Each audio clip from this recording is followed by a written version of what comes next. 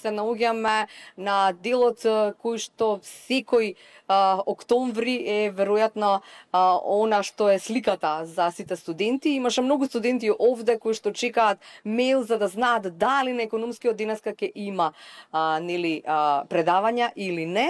А, ќе има некаква свеченост во 11 часот, но можеби и за тоа ако знае нешто ќе ни кажа ново избраниот студентски лидер или председателот на студентите на УКИМ Славчо Темилковски. Добро утро. Добро утро, фала на поканата. А, така е, денеска е прв академски ден со тоа што на економскиот факултет има одредени свечености кои што се организираат секоја година. Изминативе две години и немавме баш некоја прилика да присуствуваме на овие свечености, нели бидејќи беше онлайн и наставата и цел, целиот процес, со тоа што мислам дека и тоа е доста позитивна работа бидејќи се враќаме конечно во факултетите и очекувам, мислам и бројот на студенти беше огромен првиот академски ден, но се надевам истата бројка ќе биде и од утре. Така. Од 19 септември сте на оваа функција. И сега кога велам функција, морам да прашам и што од онаа програма која што ја а, понуди Славчо Милковски е она што ќе сака да го изреализира во следниве години? Така, значи, уште од првиот ден веќе имав и одредени интервјуа и слично. На секој интервју го, го кажувам истото, дека главна, главниот приоритет ќе биде а, зајакнување на, на универзитетското студентско собрание, односно А, што значи делот за јакнување? Секој студент да има доверба дека Универзитетското студентско собрание може да му ги реши проблемите, дека секој нивен предлог и решение ќе го прифатиме, ќе пробаме да го спроведеме доколку е нормално, релевантно и издржано. Така да главниот процес, главни, главната заложба оваа година ќе биде Универзитетското студентско собрание да се издигне на едно многу повисоко ниво, онака како што заслужуваат сите студенти. За таа цел генерално во програмата значи ќе го официализираме вебсајтот на универзитетското собрание, преку вебсајтот ќе можат сите студенти да ги споделуваат своите барања, предлози, решенија. Исто така наскоро се отвори студентскиот културен центар каде што најверојатно ќе воведеме два пати во месецот отворен ден каде што ќе можат и самите студенти на лице место да ги споделат истите тие барања и предлози. Така да Ова се некои почетни работи со кои што сакаме да го јакнеме телото, со тоа што со текот на времето, како ќе имаме тековни а, проблеми и слично, ќе ги решаваме. Така, Славчо, морам да ве прашам, еве, како студент, нели, пред да се нафатите воопшто да влезете во, во оваа трка, да речеме, за а, сту, лидер на, на студентите, кои беа оние работи кои што вам ви прече како студенти? Еве, веќе сте сега, веќе четврта година, ќе запишете на економскиот факултет. Три години е доволно време за да ги запознаете од блиску, можеби не само а, студентските проблеми овде на економскиот, туку и на сите факултети науки. Така, а Па малце одблиску не успеавме бидејќи беше онлайн, па бевме раздалечени. А, вака, значи генерално тоа е мислам дека број еден проблем кој што сите студенти а, ги засега, тоа е делот на а, папирологијата која што се уште имаме, односно пријавувањето на испитите, а, нели, се уште на студентски прашања и слично, бидејќи ние моментално имаме развиена а, платформа каде што се пријавуваат тие испити. Исто така имаме и развиена iLearn платформа каде што има и дигитални учебници, но а, исто така и тоа ќе биде во, во годинешната програма каде што ќе пробаме да, да на некој начин целиот тој процес да го спроведеме до крај, бидејќи тој е започнат, но е оставен на пола пат. А, ние, на кого мислите ние, на економскиот факултет или воопшто на, на, на, на, на целиот универзитет, ние како универзитетско студентско собрание. А, така да, тие се некои генерални проблеми со кои што сме запознаени, но исто така, мислам дека главниот проблем а, на студентите исто така и зашто а, опаѓа тоест опаѓа. Зашто исто е така намалена довербата према УКИМ и општо и во студентското собрание и сите тие делови?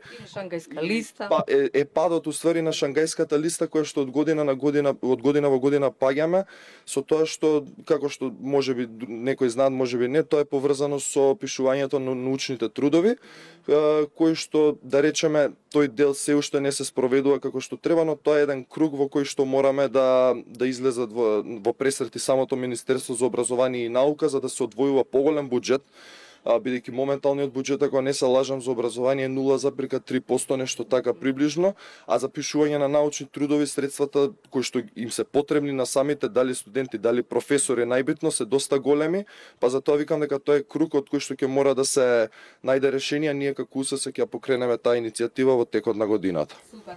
Студентски домови. Немавте можеби време да ги посетите, но ми рековте дека имате намера да имате некакво одблиску запознавање со директорите или како веќе се нарекуваат тие луѓе кои што се на студентските домови. Така. А, вака, ние, како започна фактички мојот мандат, имавме прилика одма да учествуваме во работната група, која што е, фактички тоа е работна група, која што е за изработка на Законот за младински стандард.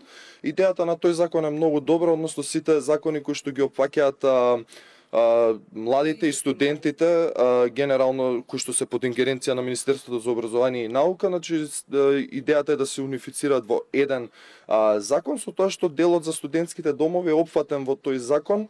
А, ја уште на првата работна средба имав прилика да истакнам некои мои а, забелешки, барања и слично, со тоа што, како што рековте, исто така во овие недели иницирав средба со председателите на студентите на студентските домови, како и други членови на студентските домови, со цел да можам одблиску да се запознам со нивните проблеми, бидејќи јас искрено сум од Скопје и не сум дел од студентските домови, но знам дека сликата во студентските домови е многу различна а, и сметам дека е правилно да се видам со самите студенти одблиску да ми ги споделат искуствата. Така да. Можеме уште многу да зборуваме за тоа што значи тој студентски живот, кои се се проблемите, кои се дилемите а, на студентите, но на што е особено важно е дека не знам дали за прв пат, но во таа национална стратегија а, нели која што треба да се формира на ниво на држава се вклучени и студентите овој пат, што е добро. Колку ќе се колку мислите дека ќе се почитувајте гласот воопшто на студентите? Заради тоа што ти вие сте оние кои што треба да изнесат државата на поправ пат од овој кој што сме го избрале. Така.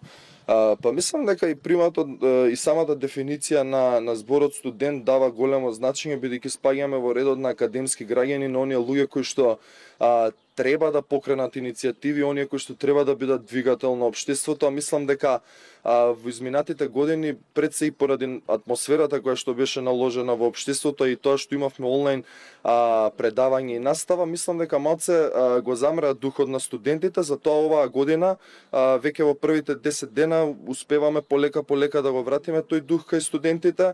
А, како што реков, официјално сме дел од работната група за креирање на националната стратегија за млади, каде што искрено очекувам нашиот глас да биде слушнат бидејќи ние сме а, на некој начин официјалниот представник на студентите на УКИМ. Така да сметам дека би нашиот глас би значил многу и дека ќе споделиме многу а, релевантни идеи и решенија. Да. Точно ви благодарам за ова прво а, интервју за Телма телевизија, односно сутринската на Телма, веќе второ, заради тоа што нели бевте дел и од а, вестите и од а, тој пресек, но секако тука сме за да ги кажеме секогаш а, идеите, можните решенија, но и да го слушаме гласот на оние кои што како Славчо вели се иднината на оваа земја. Академскиот граѓанин е веројатно некој што никогаш не смееме да го заборавиме. Тој има своји проблеми и веројатно ќе понуди чинија токму преку ова собрание кое што веруваме како студентско собрание нели на факултетите на УКИМ ќе се издигне на она ниво кое што го заслужува. Секако на лице место остануваме секогаш тука да ги кажеме проблемите и дилемите.